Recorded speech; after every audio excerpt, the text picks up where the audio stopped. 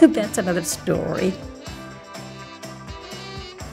Means Rain Man, uh, Dustin Hoffman and uh, Tom Cruise. I love that movie. And then Tootsie, uh, Dustin Hoffman. I like him. hmm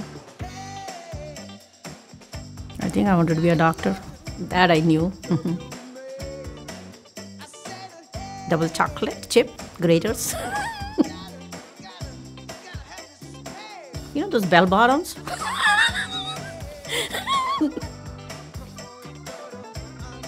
gardening. I don't like gardening. you know, Oriental Wok because I get nice vegetarian food there.